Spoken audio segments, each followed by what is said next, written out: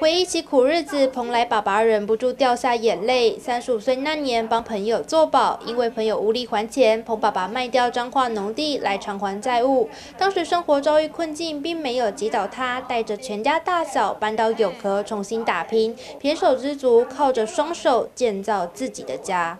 这阮大这厝啊，是拢我落去起安尼啦吼。啊，迄阵做做好啊吼。啊，骹跋断去啦，啊，跋断去，就落尾，我完哦，医医好啦。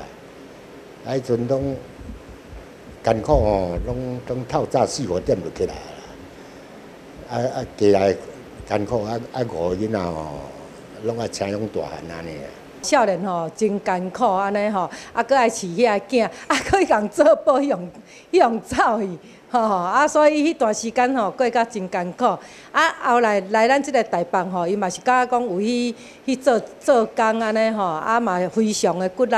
啊，伊甲我讲，伊拢毋捌咧休困的，因为伊若休困就就减碳，所以拢毋敢休困。吼啊，甲咱即个囡囡仔吼，咧一个一个甲伊拉拔长大吼，啊，逐个拢非常的有成就。